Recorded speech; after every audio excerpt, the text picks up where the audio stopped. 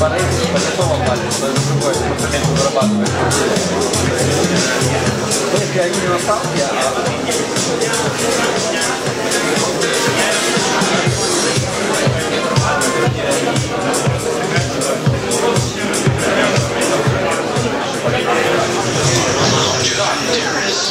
типа,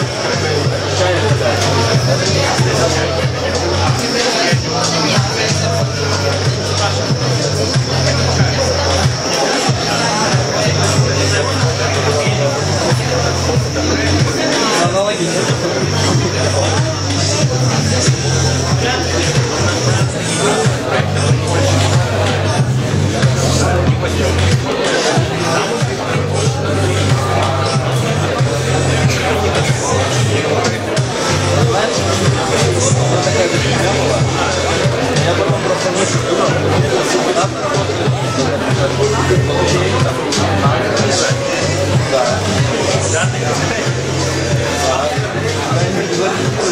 Ну, понятно, не ММ пайплайн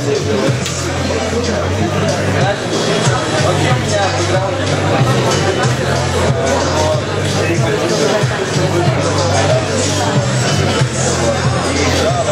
вот тоже Google, больше у нас такой, как long-term проект.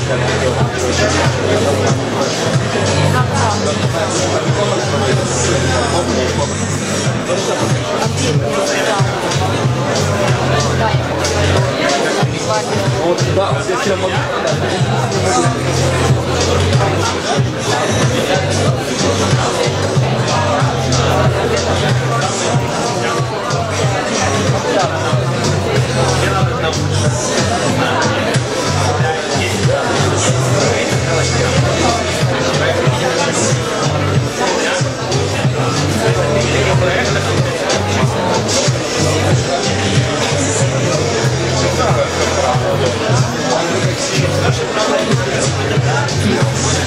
Камера, которая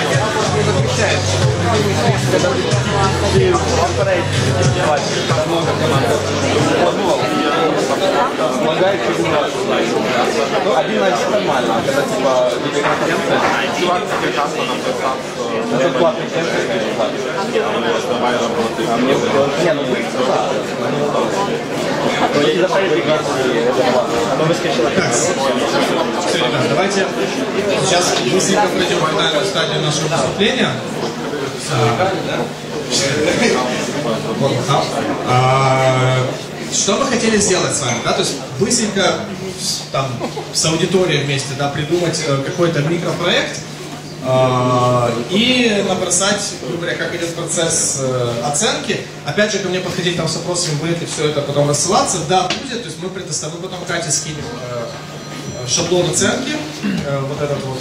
Мы скинем шаблон э, вот этого вот большого текстового оффера, и презентация тоже будет всем разослана. А, Смотрите, давайте, ну, просто у нас, мы так чуть затянулись презентация, потому что у нас где-то минут 40-50 будет на эту всю штуку. Я предлагаю э, оценить какой-то проект, э, ну, учитывая, что, давайте, в, то- в том, в той области, в которой мы разбираемся, это JavaScript Development, это, допустим, не знаю, пусть это будет микросоциальная сеть. А, Ничего себе. там, где могут, могут пользователи заходить, регистрироваться. Да, да, да, да. Код Word будет называться. Все, очень просто, Вася. А, не, именно вот социальная сеть, ну, в стиле, там, не знаю, Инстаграма, да, то есть есть человек, он может регистрироваться, постить какой-то контент, текст, фоточки, а, Для строителей. может добавлять в друзья э, других людей, видеть, соответственно, у себя в ленте там их текст, э, фоточки. А, Есть администратор, который может это модерировать. А, И, а, грубо говоря, там, да, там смотреть список пользователей, может их там банить. Ну и в принципе, и в принципе все. Сра- Мы сразу же, то есть первый подход, э, который э, мы используем в оценке задач, это дробление на какие-то такие общие блоки. Да? То есть из того, что я перечислил, есть общий блок. Ну, всегда в любом приложении, э, всегда в любой разработке есть такой блок ядро. Никит, можешь, пожалуйста, начать это фигачить? Ладно. Отложи микрофон. да. Э, То есть есть блок ядров, который, ну сейчас расскажу, что мне понял. Потом есть блок, э, там, пользовательский интерфейс, да, то есть там user part. Ну, сразу вот все, что появится куча всякого еще других пунктов. А, Есть э, админ part. Очень честно. На самом деле, это действительно очень важно. В самом начале, даже когда вы это делаете, исключайте ошибки просто, ну, как бы планируете уже, что это будет выглядеть. Вот и все. Я так немножечко поговорить захотел. Так, ну что, что из... Ну, короче, оставляем пока так, потом он может добавиться. Давайте все вместе подумаем, поднимайте руки, что может... Ну, то есть мы уже один пример говорили, да, там какой-то... э, давайте их сразу же оформим, да, то есть они были в нашем предыдущем примере, это там ядро приложения, структура базы данных.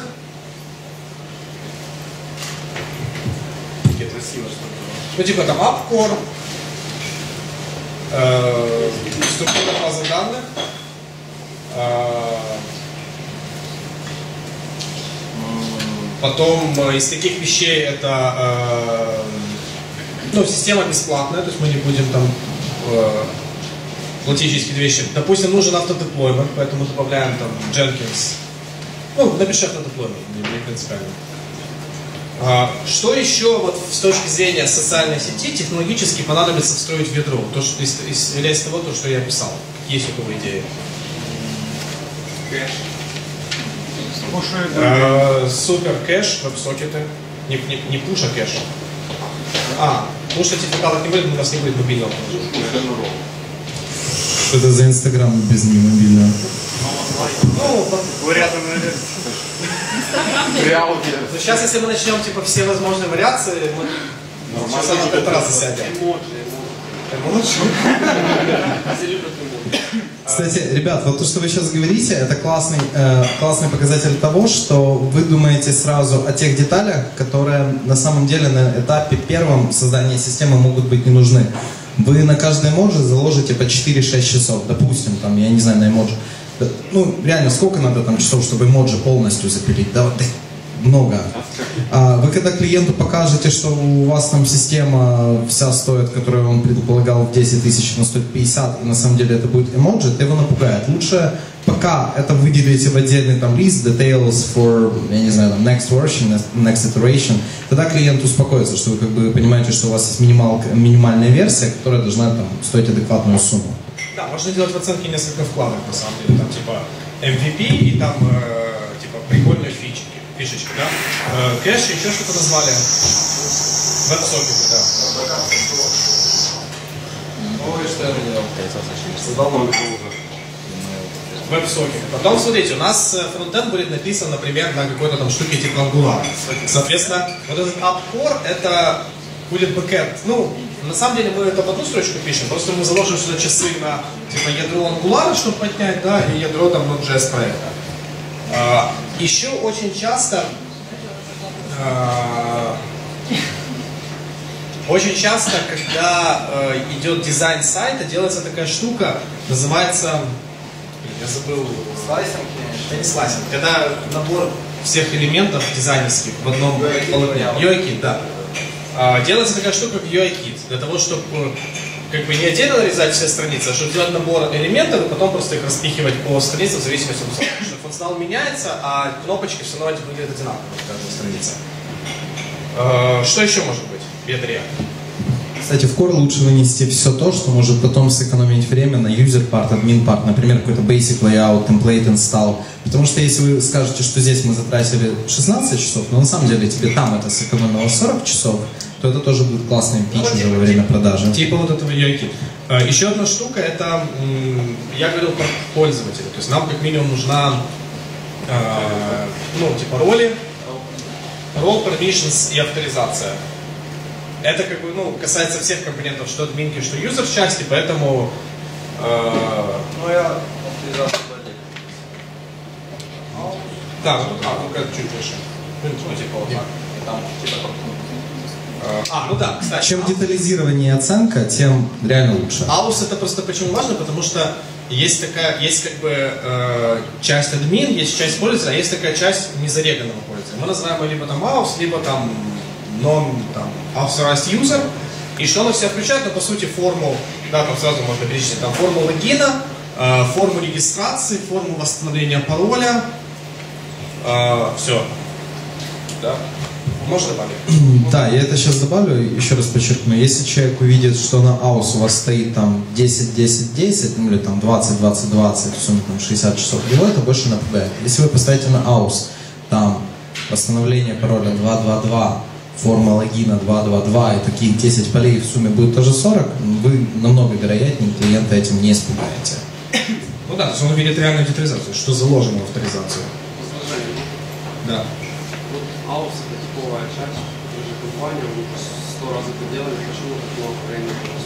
Мы, так мы во-первых, не сказали, что много, я возражение понял. А, часто просто там какие-то кастомные дизайны. То есть тут больше упор. э, Фронтенд и бэкенд займет там понты времени. Вот лоял займет какое-то время. То есть, но важно, пусть это будет работа на час, но клиент понимает, что мы подумали, что есть форма авторазписания. То есть задача это не столько... Смотрите, задача не накидать кучу полей и раздуть оценку. Задача детализированно оценить все-все-все э, там блоки и компоненты э, системы. Э, Тогда у нас в итоге клиент видит, что у него есть полная детализация, и, ну, все равно, даже если у тебя 10 пунктов каждый по часу, это уже 10 часов, это уже там, ну, 250 долларов бюджета. Э, Так, еще следующий, смотрите. Э, Дальше, что может делать пользователь? Да, то есть мы говорили, он может, э, ну там типа, он может по- э, edit, ну, редактировать свой профайл. Да, Никит, ты там что-то выглядишь красиво. Виправте вздихаючу форму. Что? Виправте вздихаючу форму просто. А, sign up. Типа, сука, не А Может, она вздыхаешь. Это наша система, во-первых. Мы ее придумали. Копірайт То есть edit профайл, он может редактировать свой профайл, что подразумевает какую-то форму. А, опять же, смотрите, он явно будет заполнять кучу полей, там, и, ну, в э, тех или иных там э, формочках. Поэтому сразу в ядро автоматом попадает, и это будет происходить как в авторизации, так и в user part и сразу в ядро, в ядро происходит, попадает пункт валидация. Валидация должна быть как сервер-сайт, так и клиент-сайт. Правила валидации могут быть разные. Если какие-то базовые стандартные, которые э, там человек, грубо говоря, это клиенту тоже можно объяснять, да, что есть правила типа стандартные, что в поле email нельзя вбить email. А есть уже какая-то бизнес-логика, например, что не может существовать два человека с одним email. А может, может. А, а может, там можно спецсимволы там, запрещать, разрешать, что там нюансы с паролем. Если все это, ну и вот это все сильно влияет. То есть оно кажется мелочь, но потом, когда клиент начинает тестировать и говорит, а что я звездочку в пароль могу ввести?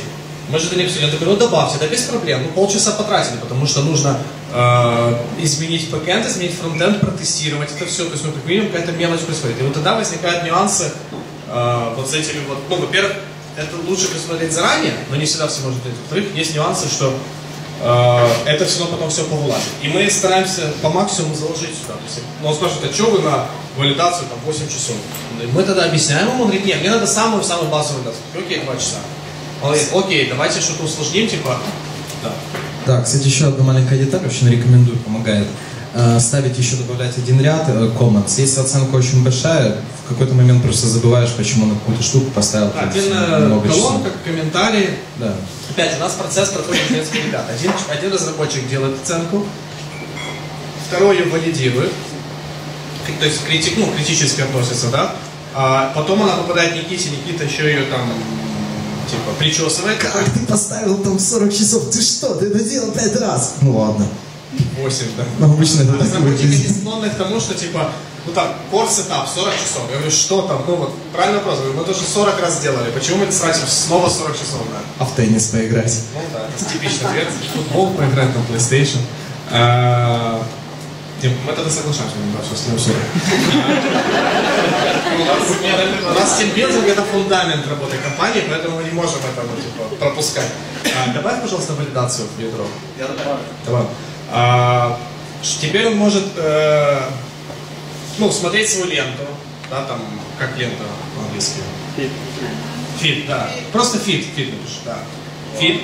А, потом он может э, ну, типа, искать пользователей. Сразу search, ну давайте, то есть понятно, что search сразу подразумевает, что в принципе надо правильно свою базу, еще лучше брать какой-то компонент для упрощения поиска, типа там Elasticsearch или там Sphinx или еще что-то. Давайте пока просто не будем усложнять, то есть система рассчитана там, на 100 пользователей, поэтому сложности с поиском не будет. Но если клиент говорит, что пользователей миллион, надо обязательно понимать, что такая штука, как поиск, должна работать быстро. И фид должен работать быстро. И тогда надо задуматься над тем, чтобы э, сразу в оценку в ядро добавить там интеграцию сфинкса и еще чего-то.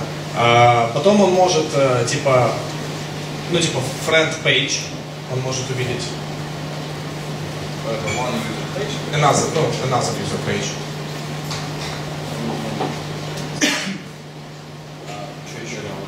Э, Что, он- что еще? Не, мессенджер не будем что-то говорить. Что еще он может делать? Лайки, может Бесполезная система, откровенно говоря. Это Инстаграм так и начинался. Лайки может ставить.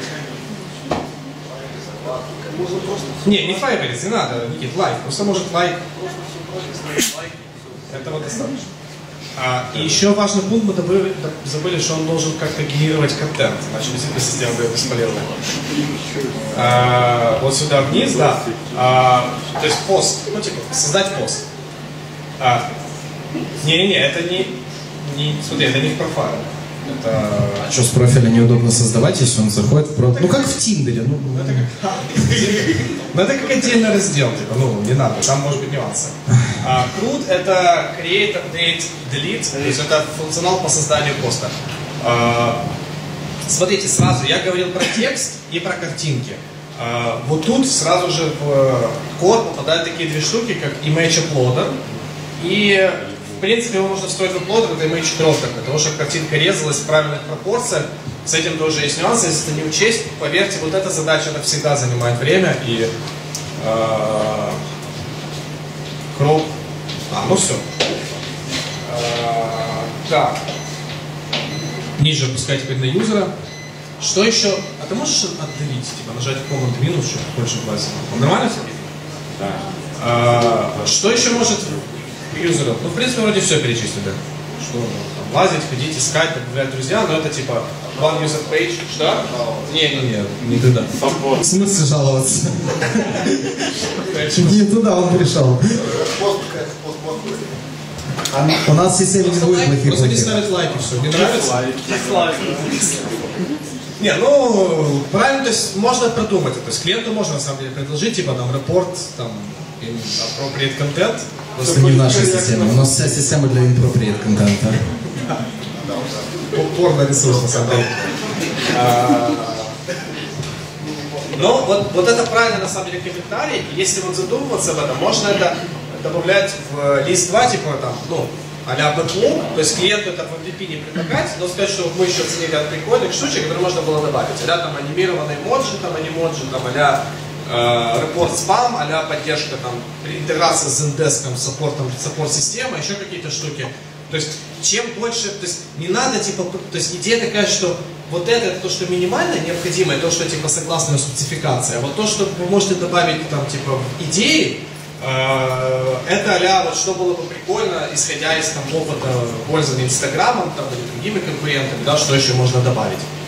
Э, там, тегать других ребят, да. Маленький комментарий, прошу прощения. А, Я почему по поводу жалоб сказал, потому что, смотрите, а, очень часто бывает проблема с реально там, религиозной, когда ты хочешь вот, постоянно, от Apple то же самое, да, там нету формы, формы комментариев, тебе просто автом заявили. И та же самая история, у тебя, был случай, не знаю, да, там, а, программу выложили, потом начинаешь жаловаться, что плохая, и тебе на сервис падает по плохих негативных отзывов, ты мог реально засудиться при сервисе.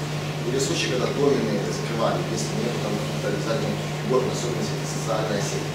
Ну, я А, Там вопрос в том, что обычно на... Аргументация железобетонная. Добавляй э, систему жалоб. Кстати, я, я немножко возражу, что если это пич какой-то, ну, это показывается инвесторам, а не реальным людям, то это на самом деле на уровне МВП вообще не надо, потому что человеку надо сделать какую-то заглушку. Вот Это, это частные случаи, то есть каждый случай э, надо отталкиваться от клиента. Я вот Берем, берем, да? Завтра на работу. Нас заказчик проверил проект, и там первым делом, первый юзер всегда писал жопа. Это был я. У нас половина комментариев в права. Что это за херня?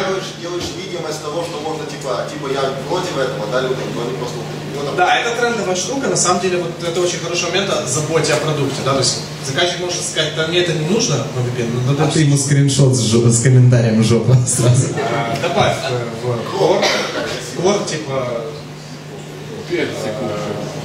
как клеим, клеим. Клеим, да. Support. claims да. Тут вопрос еще. Насколько яростно отстаиваете? Если, если он говорит, вот не нужно мне для... для Не кейс? Окей. То есть, Не, но есть такие вещи, он, мы ему говорим, типа, он говорит, да нафиг мне интеграция со сфинксом, э, и так будет работать, типа. Мы говорим, так у тебя ж, типа, 10 тысяч лояльных пользователей в первый месяц. Ну, типа, у тебя просто чувак будет искать другого пользователя минут 8 только на старте. Ну, понимаешь, это там же 16 часов. Он же говорит, как это 16 часов? Ну, типа, давайте уберем это. То есть, то есть надо, ну, надо знать аргументацию по каждому пункту, нужно знать пункты, которые можно вырезать. Если пункт не нужен, так нахер его туда-сюда вставлять, вставляйте в э, вкладку идеи. Но если, как вы считаете, что он действительно важен, нужно уметь его клиенту отстоять, защитить, подискуссировать. Если клиент технический, он может назвать вопросы, может сказать, что у них уже готов какой-то модуль, например, там, э, с ним надо интегрироваться, еще что-то. То есть, опять же, интеграция и готов модуль, это очень такая тропинка сыкотная, потому что непонятно, кто этот модуль писал, как он сделал на нем API и как с ним интегрироваться. Может такое быть, что разработать с нуля. И это просто сказано, так оно вышло созвучно. Я всегда это выделяю желтым. Ну, серьезно. Да, то есть те пункты, вот, например, вот этот пункт там про мы не знаем еще, как его реализовывать, поэтому мы его добавили, что он важен. Мы его как группу оценим, но выделим желтым. Почему? Потому что, типа, мы... э, потому что сыпем. Не, не уверен. А, дальше. Теперь админ. Что может делать админ? Давайте. Все. А, смотрите, первое. А, Первый момент, что... Да, делаем даже не как... Не, как мод... Не уверен. Ну, смотрите, важно, что очень хорошая штука – это предлагать клиенту сразу экономию бюджета. А, как мыслят, я не говорю сейчас там, не всех обобщаю, но как мыслят типически, типично недалекий, да, там, продажник или фрилансер, что о, можно продать ему кастомный дизайн админки, можно продать ему верстку, это заработать еще там э, 2000 долларов на этой штуке. Э, но если мы берем концепт того, что нам надо создать с клиентом отношения на пару лет, надо сказать, чувак, за 30 баксов можно купить там темплейт, на котором создать админку. Э, Если заказчик заморочится э, лицензией тем, что темплейт нельзя использовать на коммерческом проекте, а это пока не коммерческий проект, потому что нет оплат. А на коммерческий проект нужно там покупать расширенную лицензию, она там стоит ну, 700 долларов. Ну, типа, ну дороже, но это все равно будет дешевле, чем делать э, кастомную, кастомный дизайн и просто, на самом деле. То есть мы, мы сразу клиент, у нас есть темплейты, которые мы любим. Темплейт, темплейт розе. Э, Есть хорошие, качественно, технически сделанные. Есть такие, что красиво визуально, но э, полное, типа, полное отстой с точки технической работы, с ним реально возиться сложно. Поэтому мы когда говорим про темплейты, мы оцениваем наш темплейт. Мы будем вот выбирать список темплейтов, которые мы знаем. Если ты предлагаешь свой темплейт, мы должны сначала купить, скачать, изучить, и тогда мы сможем тебе сказать, типа, нет. И выделить желтеньким. А, то есть темплейт сетап. Нет, медфор, ну, это в. Не, объективно все равно там под админку надо свою апку поднять. Ну, тут такой холивар, конечно, но я считаю, там добавить надо, потому что периодически на этом Только вываливается. тут туда пробельчик будем перед А это все-таки корчик. Да, то есть мы типа устанавливаем темплейт, настраиваем потом, какие у нас э, разделы есть в админке. Давайте, исходя из ТЗ. Добавлять? Добавлять мы не можем. Удалять. Список юзеров, Disable. лист и disable. Бам. Ну, бам типа, да. Клеймы Да, учитывая, что мы добавили уже клеймы, значит, нам нужен э, с... Фотки юзеров будем смотреть? Что? Фотки юзеров будем вы можете смотреть? перейти на, на профиль юзера и посмотреть его фото. Окей, они открыты. Помню А. телефон. Стойки системы. А это тут у тебя поменьше, да, типа, можно сделать два поменьше, чтобы было видно. Ну, то есть это как типа такая легкая вложенность. Все можно по-разному, можно колонками, но мы вот типа так делаем, но наглядно и в целом красивенько. А, дальше, смотрите, вот еще такой вроде мелочь, но вот снизу, после 46 строки, нужно все остальные строки дропнуть, чтобы красивенько было. А, Ну, клейм лист, там уже должна быть еще какая-то переписка бана, я не знаю, с Не, он просто видит, принимает решение забанить юзера, например. Ну или, за... ну, короче, пока- так как система клейма непонятна, может тоже выделить желтым, то есть можно пожалуйста на юзера, то есть это надо обсудить с клиентом. То есть клиент не дал на эту тему спецификацию, это типа важная штука с точки зрения там, мирового рынка, поэтому нужно отдельно это обсудить. Но такая забота уже как бы, вот, говорит о той вовлеченности да, в проект. А, Ты удалил строчки лично? О, видите, кстати, вот Вот если он будет это печатать, у него это будет, так, ну, то есть вот такая мелочь, но забота даже о том, как клиент будет видеть таблицу. И смотрите, когда у нас вот такая вот э, оценка, э, на самом деле, ну, кроме каких-то сложных вещей а UI-Kit, ну, там, и каких-то, ну, не знаю, там, DP Structure может занять время, все остальное можно поставить там рант от 2 до 6 и заполнить всю таблицу, и вы не сильно ошибетесь, на самом деле, потому что, э, ну, задача разбить, эм, разбить э, скоп э, проекта так, чтобы каждая задача занимала там от двух часов до дня. Если она уже занимает больше, то лучше ее детализировать. Например, как мы детализировали авторизацию. Может, не займет больше, но просто как пример. Например, если мы видим, что архитектура д- базы данных типа много времени может занять, нужно тогда действительно тоже детализировать, например, там, ну, какими-то блоками, чтобы, во-первых, проще оценивать, гораздо проще, чем просто типа сказать, сколько ядро такого приложения, а ты пойди в голове, учти все эти пункты. А, и дальше мы начинаем запоминать. То есть core это и, фронт, ну, и фронтенд э, core, да, там Angular, например, или React, и бэкенд. Ну там на вскидку это мы закладываем часов 8 туда и туда. 8. Туда и туда. И туда 8, туда 8.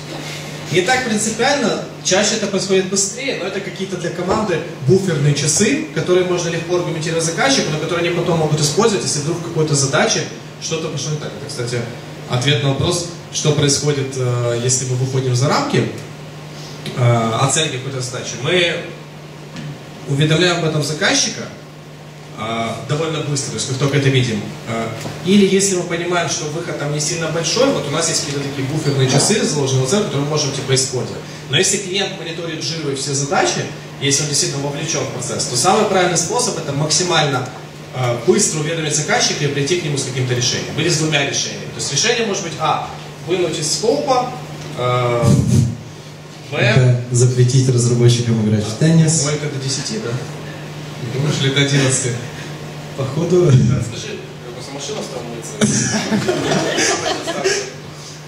вот так я и остаюсь всегда один. Э, Просто то здесь точно еще нужно добавить э, non-functional support page. Это 404 maintenance page, может быть, какие-нибудь там, понял, контакт us и всякое такое хреновина, которое точно забирает там день-два времени, но э, тоже надо. Смотри, очень до 10 или ты со мной? Ну, я через 10 Хорошо. Короче, э, да, я согласен, можно добавить, но иногда мы это, э, эти вещи, там, типа 404 прописать, это элементарно. Потом на MVP просто реально на MVP, это зачастую не нужно. Это, смотри, мы сейчас придумаем минимальную версию. Почему мы часто выигрываем, ну, в плане оценок? Мы не думаем то, что не нужно на MVP. То есть у вас всегда есть фокус, как бы, мы делим э, вообще все системы на три типа. Ну, вот когда приходит ко мне какой-то заказчик, я делю его проект на один из трех ну, типа, э, типажей. Первый типаж это какой-то KIS, ну типа Keep Everything Simply Stupid. Тогда мы пытаемся убрать все, как сейчас. Минимальный набор фич, минимальный набор вообще возможностей. Когда это МВПшка, ему это не будет нужно. А все знают, что такое МВП, кстати? Кто не знает? Один человек. Ну, короче, это какой-то минимальный рабочий продукт, который можно там показать инвесторам, протестить, запустить бета-версию в App Store, чтобы он заработал, выполнял главную функцию. То есть у нас главная функция это там постинг и просмотр фида друзей. Классный пример. Недавно мы делали МВПшку человеку за две недели, потому что у него ну, прикольный инвестор, мы согласились за это взяться. А, Была ну, интересная система, но мы сделали только фронт и подняли бэк под одну фичу, чтобы загружать туда фотки. Ну и чтобы они показывались на двух разных компах. Все, это все для чего это делалось. Ну и как бы ждем там пича, что будет дальше. То есть там не продумывалось ни 404, ни суппорт. Там не было вообще, там мы взяли темплит, подстроили, все. То есть в данном случае, когда мы начали разрабатывать эту систему, я тоже планирую, что это МВПшка, показать инвестору, что туда можно подлить фоточки красивых девочек и поделиться этим с друзьями, все. То есть, забыл, красавчик, Я спасибо. вас, я вас опять ну, покину, за машиной сбегаю. Да, два других типа – это нормальный проект, второй. Обычный нормальный проект. Когда человек приходит, у него есть бюджет, он понимает, что ему надо заложить и суппорт, ему надо заложить виды ошибок, ему надо заложить какие-то, не знаю, мейнтенсы, ему надо придумать то-то, то, ему надо нормальная система сокетов, чтобы все было реал-тайм, ему надо, я не знаю, ну, к примеру, там нормальные публикации, чтобы были, там настроить SEO-шку, чтобы оно там все, ну, индексацию проверить. Мы это тоже закладываем, обсуждаем с ним, но мы думаем о таких вещах, когда это продумывается. А, и третий тип, это такой самый редкий, это never ending, это когда приходит Вася такой, чуваки, у меня есть проект, давайте хрен с ней с оценкой, просто давайте мне три человека, как-то начнем работать. Ну, то есть, тогда там люди уже сидят и на спринтах планируют, что будет сделано. И там тратится реально пару спринтов на то, чтобы строить core-системы, сделать классные э, автодеплойеры, сделать какие-то, не знаю, докеры, подсоединить кластер. Вот, например, начинали Neverending проект, чувак потратил три недели на то, что клиенту надо была какая-то хитрая кластер-система. Ну, то есть, там уже другой вопрос. Но когда KIS, вы должны выбросить все. Максимально. Вам главное дать клиенту то, что он может кому-то показать. И чтобы ему хотя бы какие-то девочки написали, что чувак, классная система, забери меня сегодня вечером на машине. Ну, то есть, в таком духе. Когда такая социальная сеть понятна, а если, например, вот, а, реальный пример, люди говорят, нам нужно MVP срочно для инвестора через два месяца, там, грубо говоря, онлайн чуть ли не фотошоп редактор, да, версии. А вот, братан, что должно быть работать для твоего инвестора? Что он увидит, а что он не увидит? Рассказывай. Он говорит, ну, в принципе, он увидит все. Ну, ты говоришь, что, все можно не увидеть, давай эту кнопку захайдем. Но не будет у него там кнопки перехода на суппорт. Много инвесторов реально на встрече со своими разработчиками вспомнит, что там должна быть кнопка support, term of use, э, не знаю, какая-то там еще кнопка. Можно обсудить такие детали, как бы тут уже, это, это детали, реально детали. Просто вам надо понять, что если у человека сжатые сроки, и он сам понимает, что нельзя все впилить. Даже если ты поставишь разработчиков 50 человек, чем больше разработчиков, тем меньше их эффективность. Ну, суммарная.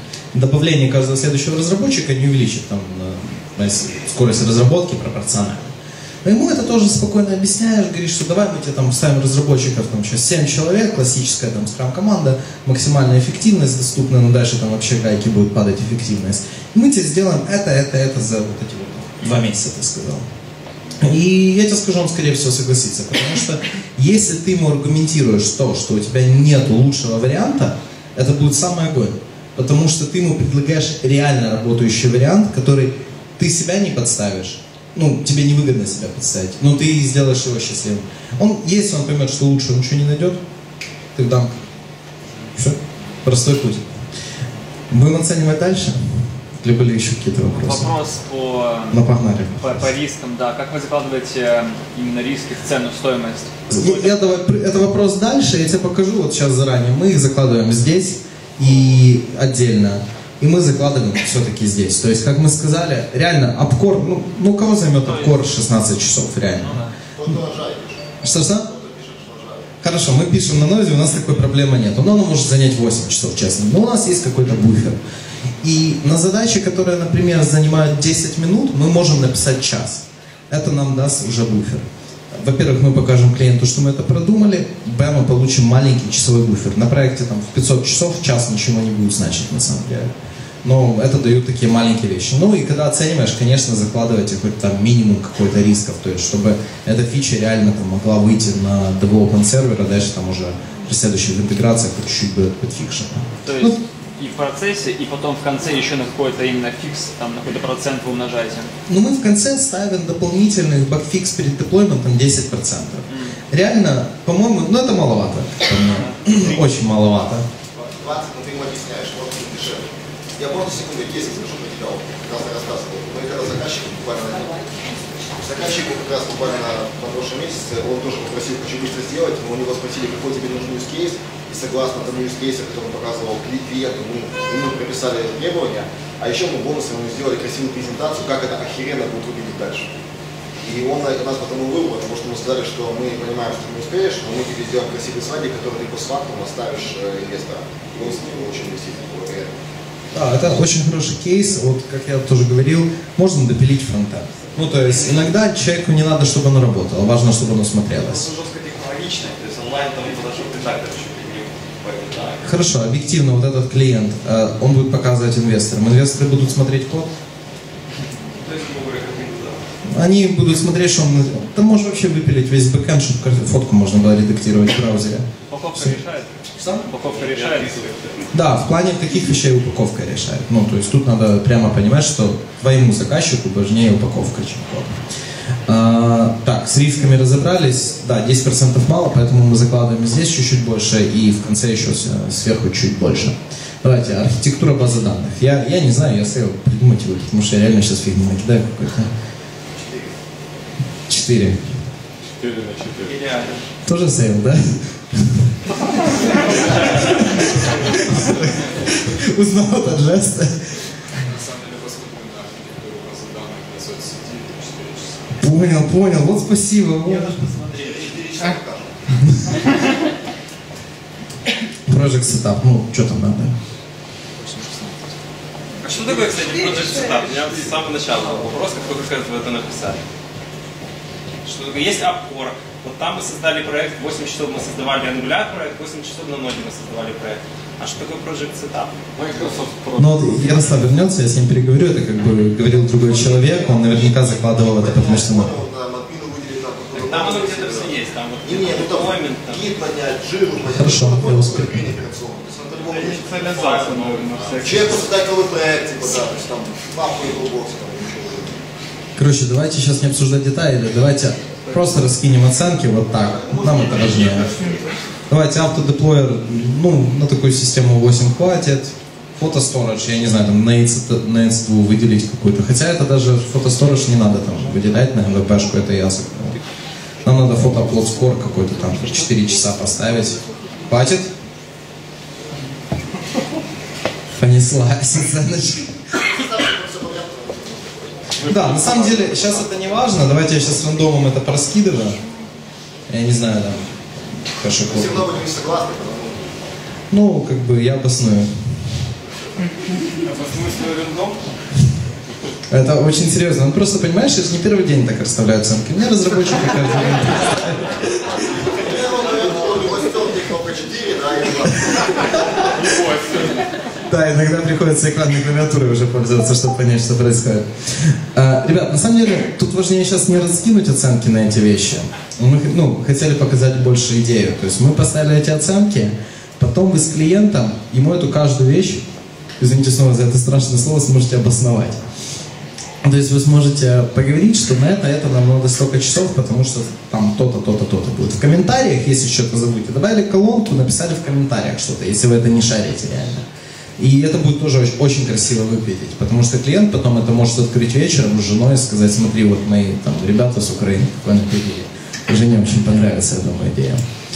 Короче, потом эти все штуки у нас идут в summary. То есть у нас вот все сейчас ушло в development. Поставил я тут rate 40, давайте будем более серьезными ребятами, поставим rate 400, мне так больше нравится. В час. У нас есть какой-то часовой rate, всего у нас там накидали мы 100 часов ровно. Видите, фронтенд, бэкенд 100 часов. Мы раскидываем фронтенд, бэкенд, в принципе, как JS-девелоперы, то есть бэкенд, понятно, нода, там фронтенд, вьюшка, Vue.js. Layout это HTML. HTML у нас рейд меньше. Ну, то есть, с 400 я загнул, давайте там поставим 30, я не знаю, 20, просто нормальные какие-то рейты, там рандомные, у нас они чуть повыше. Там 30-20. То есть клиенту мы таким образом тоже можем спокойно показать, что наши JS-разработчики, фронтенчики, например, они не занимаются HTML, CSS. Это очень важный момент. У нас в компании действительно ребята, которые делают фронт, они не делают HTML, CSS, они не верстают. Это принципиальный подход. Мы, мы знаем о том, что нашим ребятам, ну, большинству было бы это некомфортно. Ну, и как бы, мне кажется, разработчикам личное мое мнение делать верстку не, не всегда интересно. За счет этого мы даем отдельных разработчиков, которые стоят дешевле. Клиент уже понимает, что таким образом я ему аргументирую, что мы экономим твои деньги, 10 баксов в час реально мы тебе экономим. Это классно работает, им это нравится. И верстка обычно там выходит, ну, половина разработки зачастую с кастомными дизайнами натурально какие-то багфиксы перед деплоями, ну, development понятно. Кстати, очень важно, э, вы ставьте рейд, это такой маленький от меня профит, я иногда ставлю рейд выше или сре- усредненный. Почему выше или усредненный? Вы можете обсуждать с клиентом скидку. Это, конечно, не очень красиво, но оно работает. А, Но самое важное, вы с клиентом будете обсуждать уровень разработчиков, который им нужен. Смотрите, я сейчас, пос- на самом деле, эта табличка, она немножко не отвечает реальности, потому что у меня еще э, поставлено в моей табличке количество разработчиков на проекте, там рейты усредненные. Это я ставил, как будто мы будем делать оценку под одного фрилансера. Я немножко переделал табличку. А, Дело в том, что когда вы с клиентом войдете в какое-то интуитивное, я не знаю, взаимодействие, ну, я не знаю, найдете общий язык, вы можете ему объяснить, что ему реально нужен будет middle разработчик, senior разработчик или один senior разработчик и пять мидлов. И за счет этого rate будет другой. И их вы там будете как-то менять э, пропорционально. И такие вещи очень можно хорошо даже, ну, скажем, продавать на этапе того, как вы обсуждаете этот документ. Ну, то есть, я не знаю, для нашей системы нужен там senior разработчик или не надо для MVP? Где вы там? Нужен senior? Обычно Ставим 40. да, одного архитектора подаешь там очень любовь, и там жену туда ты подаешь. Либо флэтрейт, либо флэтрейт ведешь, либо раскидываешь по уровню себе. Ну, э, я обычно считаю просто э, делаю с- усредненный. Да, да, да. Мне так удобнее. А, ну и опять я разработчик, у нас нет часов. Потом мы считаем бэкфиксы перед деплоями. Эм, Просто 10% от вот этого суммарного времени разработки выходит какая-то сумма у нас там сейчас 400 долларов. Ну и quality assurance э, это в случае, если у вас есть тестер или вы будете делать реально нормальный тестинг. Мы ставим 30%. Это то время, которое уже исходя из нашего опыта реально тратит нормальный QA-щик на тестирование проекта. То есть я, честно говоря, не знаю, сколько будет времени для одного фрилансера, если это сам человек сидит, сколько ему надо времени протестировать проект и будет ли разработчик сам тестировать проект. Честно, я, я не представляю, как один фрилансер бы там тестировал проект или не тестировал. Это вы исходите лучше из своего опыта. Кстати, а есть тут кто-то один из фрилансеров, может быть, мне рассказал? Вот, а вообще реально фрилансеры тестируют проекты сами, когда работают? Наверное, когда если за это платят. Да? Ну, типа, не просто там вылили и понеслось. Ну, у тебя, понимаешь, если ты не будешь тестировать, тебе будет чуть инвестор, и ты не пойдешь. У тебя не может где вы сами будешь фигачить, да, либо ты через увеличится свой fix price? Вот тебе какой-то внутрь сами платите. Ну, как бы мы по фикс прайсу не работаем в основном. Так это же fixed price. Да, да. Э, Смотрите, почему? Это не совсем fixed price, это rough estimation. Да, да. Э, Вы в какой-то момент, обычно их несколько итераций. То есть, когда меняется, м, ты сделал первую оценку, пошел к клиенту, обсудили, во время оценки оценка поменяется очень сильно, всегда. Потом можно приходить к какой-то более, более-менее реалистичной оценке, и в принципе какой-то фиксед прайсик выходит, ну, я не знаю, выходит он или нет в конце концов, но может и выйдет когда-нибудь. Но как бы такие вещи лучше разделять. Потому что если человек увидит в разработке вот эти там не 4000 долларов, а 5320, для него это будет менее приятно, чем он увидит разработка 4000, ну, братан, я же где-то на фейлю там, будет 1320, еще дополнительно сверху, примерно 30%. Оно заработает. И здесь я поставил Team Meetings, э, последнюю колонку. А в Team Meetings э, я заложил, что мы с чуваком будем каждый день общаться, я не помню сколько, короче, это время разработчика, поделенное на неделю, там где-то формула была. Короче, по часу, по три часа в неделю у нас какие-то встречи с клиентами. Если вы это тоже учтете, я говорил это во время самой презентации, это будет очень круто, потому что а, если во время разработки вы оценили все в 4000, но у вас вышло 5300, 4300, а, у вас будет, ну как бы, вам не надо будет даже аргументировать, это вы закроете возражение заранее. Короче, может у вас еще там какие-то фичи появятся, я не знаю, там... Я иногда по приколу даже ставил в оценку, что попить кофе там на 500, э, 500 часовой проект, я там ставил час, час, час для всех. Ну, клиенты с этого смеются, да. Вопрос э, Так выходи уже, я не знаю. Ну пост. Кстати, э, ты прав, да, это в детальке надо было сюда закинуть деплоймент, там э, по пару часов накинуть. Короче, я не знаю, возможно, как-то для каждой организации это по-другому. То есть вот ко мне подходили ребята, да-да-да. А где стоимость, э, собственно, подготовки предложения и продажи? Если честно, мы ее не закладываем. То есть предложение это моя работа, которая, ну, как бы работа нашего отдела больше, которую мы там разработчиков включаем, мы это не оцениваем. В среднем сколько уходит на проект э, часов на подготовку, переговоры, продажу, заключение, финали- финализирование? Знаете, очень зависит. Вот вообще невероятная Все разница. рабочее время. Что? Все рабочее время. Ну да. А Все рабочее время на самом деле очень э, такое необъективное понятие, потому что конкретно у меня бывают продажи за час. Реально, проекты на 4-5 разработчиков, бывает, мы не делаем оценку, через час клиент хочет подписывать контракт. Это правда. Ну, через два, потому что у меня с ним два созвона. А худший вариант? Худший вариант у меня был летом, я с клиентом контракт на тысячу часов разработки, я на него потратил, я думаю, больше сотни часов суммарно. То есть это худший вариант. А сколько проектов, на которые было потрачено на оценку и продажу, э, и которые не выстрелили? Знаете, э, когда проект не выстреливает, он не выстреливает сразу.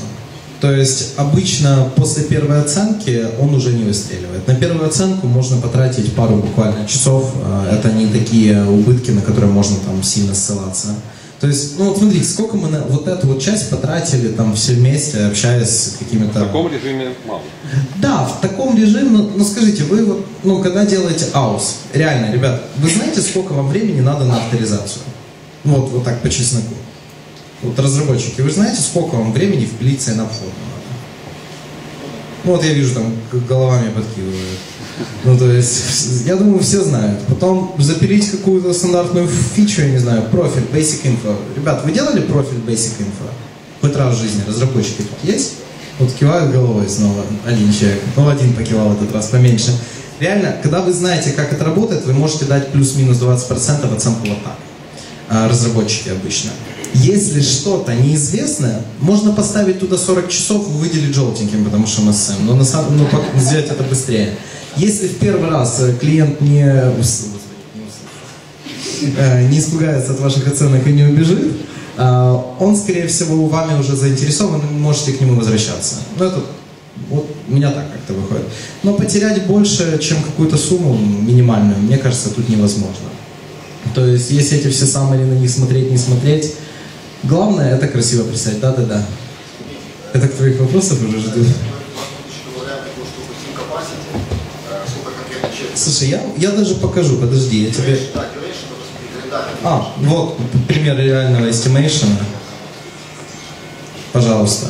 Вот как это выглядит в реальном estimate. Сейчас почему-то оно не двигается. В реальном estimate это обычно выглядит вот в таком духе. Мы ставим э, количество людей, и все часы это какие-то формулы в духе. Там 40 рабочих часов в неделю, умноженное на количество разработчиков. То есть выходит уже какой-то flat price в зависимости от э, количества людей. И обычно мы, если знаем, что в команде два человека, оценку чуть-чуть больше делаем. А, очень классно, э, такое замечание, я не знаю, а когда увеличивается команда, обязательно, мне кажется, надо обсуждать с клиентом то, что немножко уменьшится, увеличится количество часов еще. То есть потому что какой-то коэффициент все равно есть. Два разработчика, они будут в два раза быстрее работать.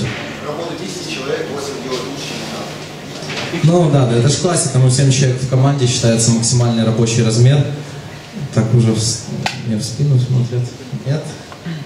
Да, на самом деле, да, э, по summary мы так э, допрошлись без Ярослава, аж грустно мне самому тут вообще. А, по summary самое главное, после того, как вы его заполнили, я, э, я так делаю, просто очень хорошо это рассказать. Вот и все. Ничего тут, никакой магии. Вы не, не- вот на этом этапе ничего не надо придумывать, ничего не надо исхитряться, личные отношения. Да, там шуточку пошутили во время оценки, но реально просто хорошая сумма, хорошие конкретные числа, и это все клиенту показать. Всё, и он это оценит. И лучше по поводу, каким образом вы его продаете? То есть есть э, фронтенд, есть бэкенд, визуальная картинка, дизайн тут вообще какой-то есть, нет? Смотри, Смотри, у нас есть три колонки. Layout, frontend, backend. Это у нас нода, это у нас какой-то Angular, это уже верстка. А, Мы закладываем верстку совершенно отдельно. Что тут? э, А разработка дизайна? Сам дизайн. Разработка дизайна это абсолютный, э, абсолютно другая работа. Абсолютно другой человек будет разрабатывать дизайн. Я и не умею разрабатывать дизайн, я послужу дизайнером. То есть к вам заказчик обращается уже со своим дизайном или у вас его все-таки разрабатывают? Если у нас э, предложение еще с разработкой дизайна, мы делаем совершенно другую оценку. Возможно, это будет вставлено здесь, возможно, в другом месте, но это другая оценка. Просто спросил, потому что я этого не вижу вообще никаких. Не, ну в данном случае, э, честно, в МВПшках обычно дизайн, зачем дизайн на МВПшке? На МВПшке, скорее всего, что-то там накидаем на темки, чтобы оно работало и смотрелось не откровенно, не Windows XP. Ну, то есть и все. Без дизайна просто очень сложно что-либо согласовать, потому что будут как бы картинка одна у заказчика в голове, у разработчиков или А, менеджер, абсолютно нормальная тема. Предлагаешь э, нормальный скрам, где ребята встречаются, обсуждают, что будет, э, перед спринтом планируешь, что будет, или созваниваешься с заказчиком, хоть в начале дня говоришь, я планирую это сделать так. Я- вот здесь реально на такую тему я бы тупо взял комплит и сказал бы, что на этой странице такие-то, такие-то поля, такие-то, так, так, так, так-то. Потом их подвинуть вправо-влево, это делаем ну, относительно небольшого количества времени. Есть еще вопросы? Я думаю, мы уже плавно должны закругляться. У нас минута есть. Давайте пару вопросов, буквально вот два-три. Давайте, сейчас пойдем. Три вопроса. Да, а вы понеслись вопросы, я тоже хочу. А, У нас вот это, окей, на предложение как бы для клиента, а спецификацию то есть еще отдельно как бы версию, можно сказать? А, смотри, вот в этой оценке, вот в этой, у нас есть PM. В принципе, PM пишет хотя бы минимальную спецификацию во время разработки, хотя бы в минимальном виде. Но, в принципе, для скрама, нормального скрама, спецификация так абстрактно не нужна, потому что ты планируешь работы всего на две недели. На две следующих недели абсолютно спокойно можно планировать какие-то вещи. Если клиент хочет спеку, мы ему говорим, это займет 80 часов техрайтера, 80 часов этот техрайтер будет работать. Окей, то есть, грубо говоря, с- а, Как машина? то есть вот этого всего ведешь документацию всяких ченджей, там, чтобы потом какой-то... Да. Да, это ведется, мы ведем для этого конфлю, Confluence. Да, да, да, там хранится документация, это обязательный фактор, и потом клиент, если будет возвращаться, это такие уже вопросы к разработке, к PM больше, но потом, когда клиент будет возвращаться, что вы там поменяли, в Confluence сразу ты это видишь.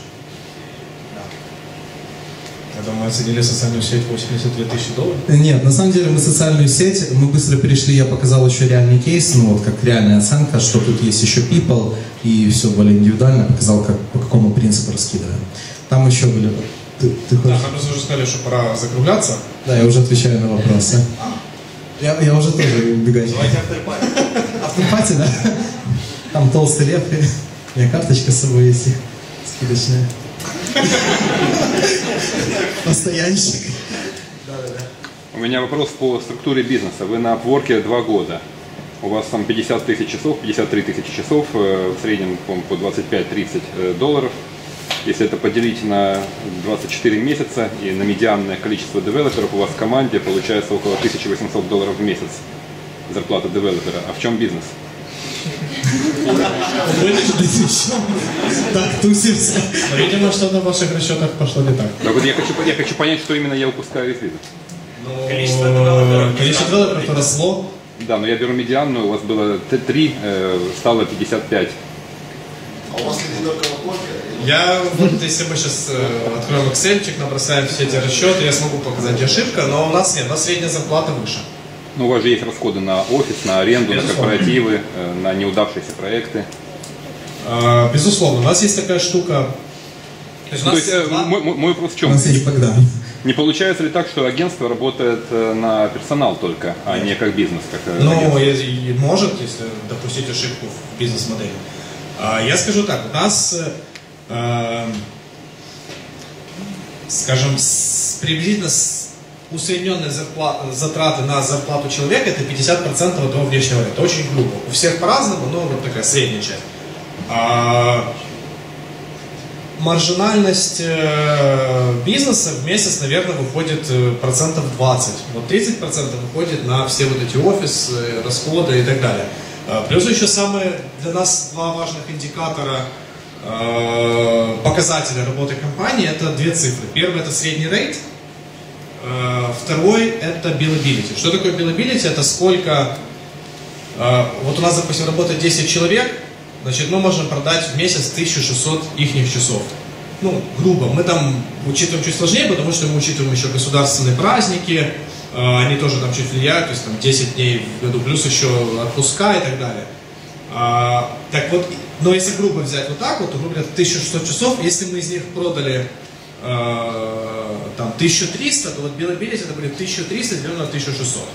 То есть мы всегда держим, ну у нас летом было проседание из-за того, что там закончился крупный проект, на котором было 25 человек, и нам надо было их срочно э, распихать на другие проекты, на продавать, тогда вот Никита впрягся в эту всю движуху с продажами очень мощно, и все это вывез. У нас было billability там 70%, то есть сюда мы работали где-то в ноль несколько месяцев. Э, Но если держать его на уровне 90%, исходя из нашей ну, финансовой модели, это для нас такой очень хороший показатель. Все зависит от э, того, как вы считаете, какую зарплату платите. Все это, ну, все легко планируется, легко считается. Спасибо. Можно вопрос? А, Клиенты, которые подписывают с вами контракт, они преимущественно вы платите с них предложения или они вас инвайтят? Не, я говорил, э- они инвайт. То есть первые три месяца мы инвайт, а да. после этого уже зачетка начала работать на нас, и мы сейчас выбираем, сливки снимаем. Я могу четко, абсолютно четко сказать, что с э, июля месяца мы ни разу никого не видели. Только у нас был простой действительно дизайнер, и тогда мы неделю видели на дизай- дизайнере. Ну, вот WordPress и, и дизайнер. И вот мы Да. как бы э, думали, куда их задвинуть. А, В итоге мы WordPress переучили на Angular. Ну, реально сложно. То есть, когда мы просто у нас э, проектов нет WordPress, например, что-то ему выстреливало, периодически на наших клиентах говорили, что у нас есть свободный WordPress. Ну, реально очень крутой толковый чувак. Ой, он гуру WordPress, он там на нем все что угодно может сделать. Но... Ребят, за 35 в час, кстати, любой WordPress к вам контакт потеряем. Все что. А, ну, действительно, то есть проекты, которые у меня в голове не укладываются, сделать на WordPress, но при этом э, э, мы просто, ну, за счет того, что у меня наш профиль, просто не было потока на WordPress. Поэтому приходилось его искусственно создавать, и в итоге мы поняли, что проще его научить ходить на JavaScript. Да, да, с- ну, стандартный как бы офер апворковский, э, подписчики дополнительно еще договор как бы с клиентом. Не всегда, иногда бывает. Иногда бывает, это как бы не критично, потому что, ну, все читать умеют, там в договорах вряд ли будет, что что-то Часто клиенты просят подписать NDA сразу, то есть они скидывают NDA, мы подписываем, потом они скидывают там спеку, дизайн и так далее, мы делаем оценку, и тогда мы уже переходим к подписанию контракта на обворке. Ну, да? Возникают ли вопросы с налогообложением? Конечно.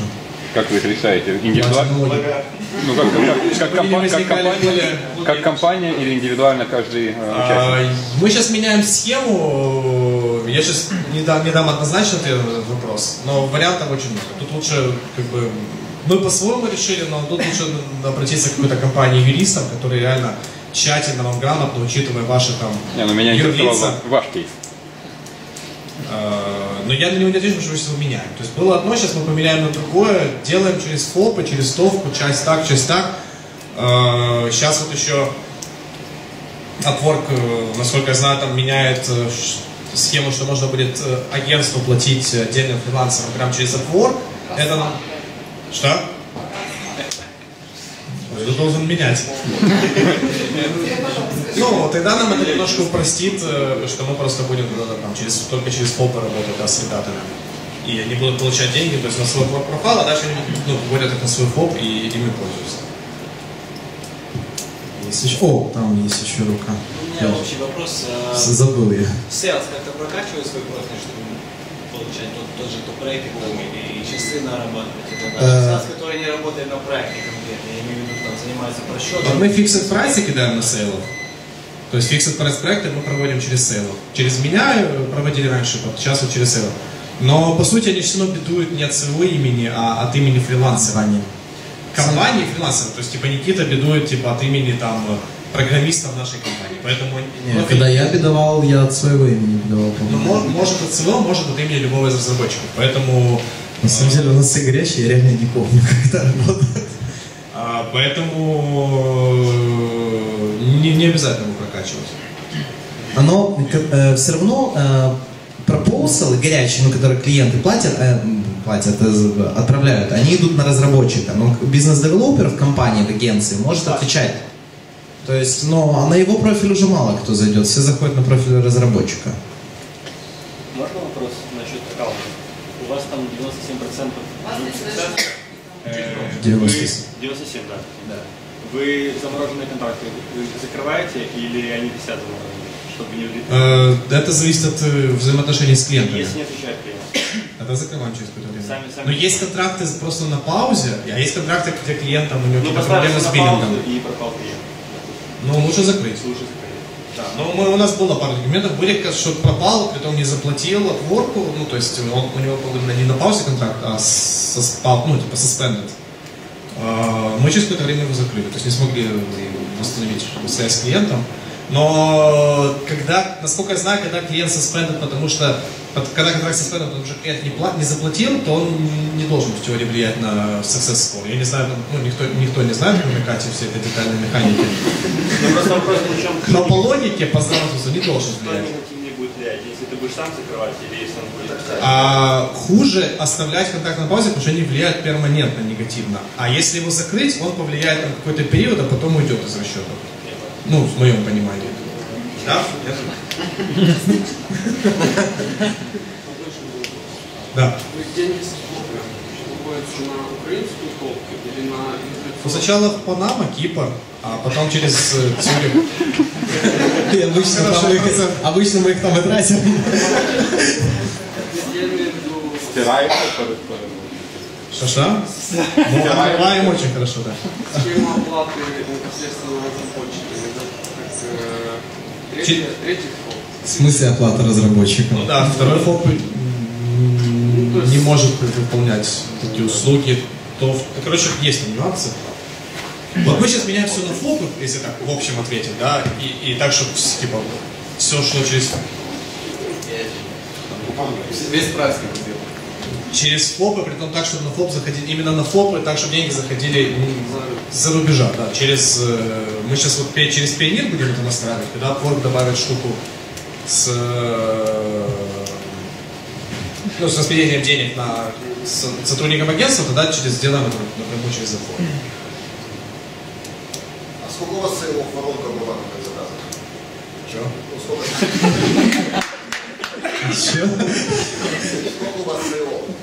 У нас два.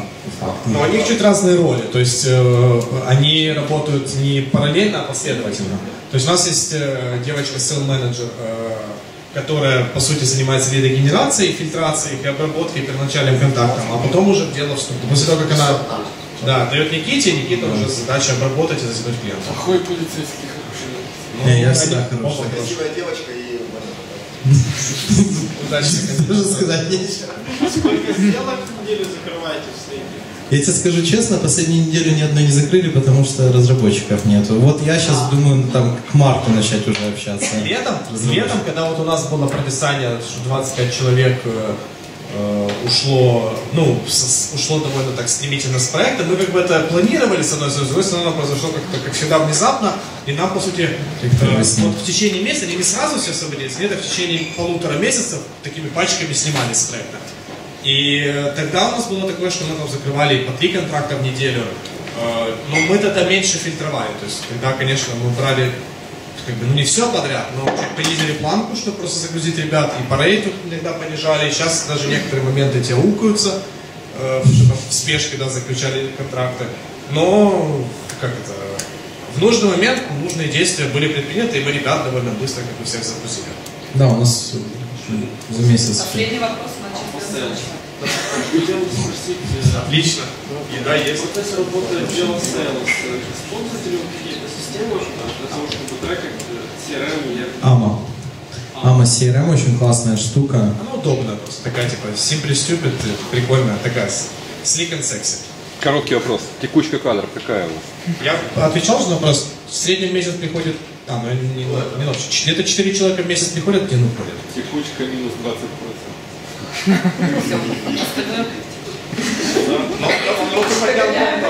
Ну, быстро вопрос.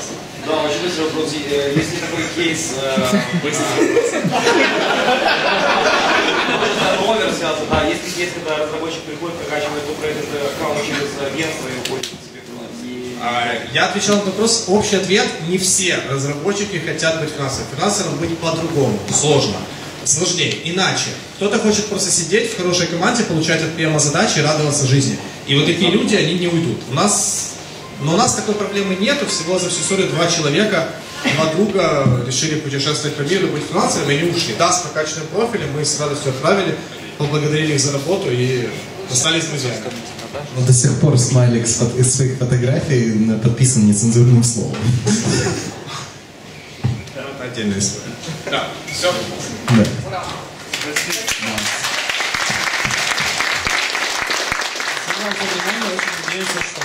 все, о чем мы рассказывали, вам поможет. И не, не говорю, что все просто вот так ляжет на вас, э, потому что, ну вот даже, видите, явно с человеком разный подход, там, э, fixed price там hourly, но фундаментальные вещи, я думаю, у нас с ним не меняются.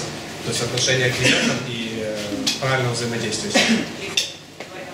Абсолютно соглашусь, всем спасибо. Ребят, надеюсь, это реально впрок. Мы все честно говорили, это действительно как мы работаем, и это действительно рабочая схема, я очень надеюсь, она будет всем помогать.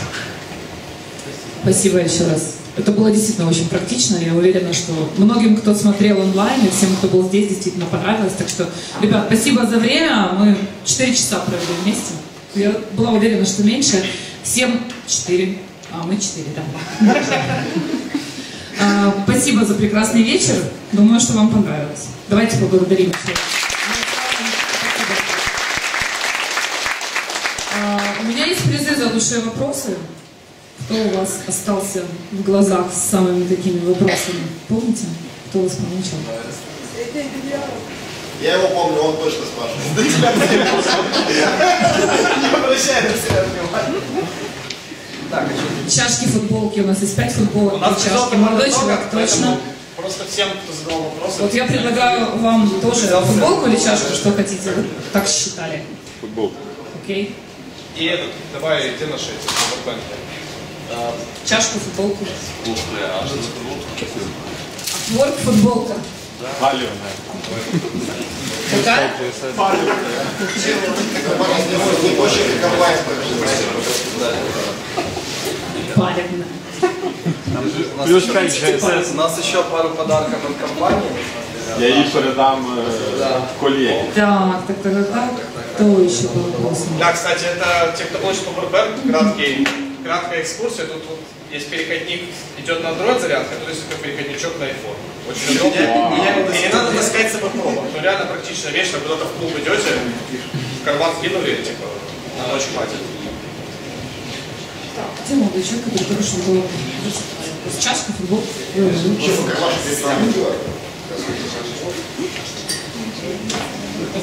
с ложечкой. Пожалуйста. Так, кто еще у нас был вопрос? Вы помните?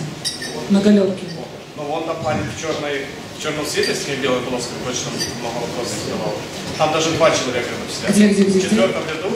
Да вот вы оборачиваетесь, а я вот глаз как идет. Меня? Что Да, и рядом с ним еще парень. А, ну да. И вот тоже с бородой еще. Уже я так по залу Там все трое, все трое активничали. Тогда три футболки вам отдают подряд. Какой размер давайте? Какой есть, тем L. Она Вы стоит. должны поместиться. Передайте это. А, стикеры на лаптоп можно забирать всем. Есть еще одна чашка. Так, кто еще снова что самому- Поднимите руку, я всех не помню. Ну вот там мужчине уже подойдите. Вам вопрос дали? Молодой человек, вам Да? точно Давайте. задавали вопросы, которые я не уверена. А там где? Сетку? Давайте.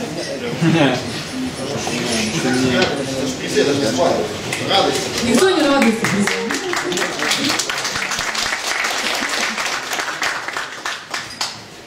Тогда до встречи на мероприятиях, которые будут еще в этом квартале. То есть те, которые для новичков, кто здесь Rising Talent, вы смотрите анонс на Facebook и на Upwork Ukraine. Стоп Рейтинг мы встречаемся на новогоднем этапе, а так ждем всех уже на больших конференциях в начале года. Спасибо.